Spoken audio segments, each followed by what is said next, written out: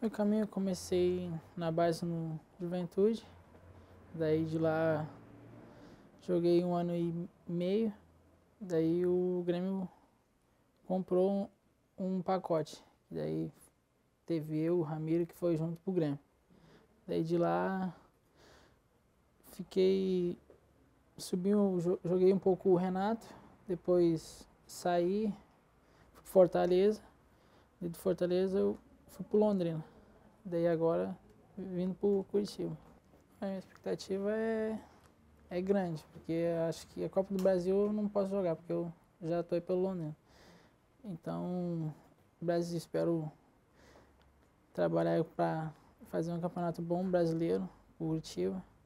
Olha, eu vejo a torcida, a gente veio vir jogar aqui, deu um, um arrepio na, dá um arrepio na gente para jogar, que a gente vê que a torcida é grande e acho que uma sessão boa acho, de jogar aqui. Olha, espero que eu possa dar, vir dar bastante alegria para essa torcida e possa ajudar do, da melhor forma possível, uh, com títulos, vitórias e, e dar alegria a esse torcedor que merece. Olha, eu vou ter que respeitar já quem está no clube, né? Então vou trabalhar de melhor forma de, nos treinos, vou dedicar o máximo para mim buscar meu espaço.